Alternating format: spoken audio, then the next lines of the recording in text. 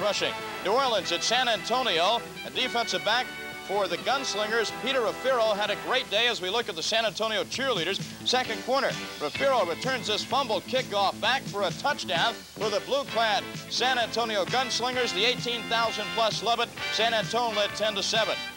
It stayed that way till the fourth quarter.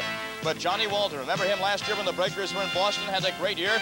He looks for and finds Frank Lockett for the winning touchdown. Lockett, a nice move there, and he goes in. The final New Orleans Breakers win it 13 to 10.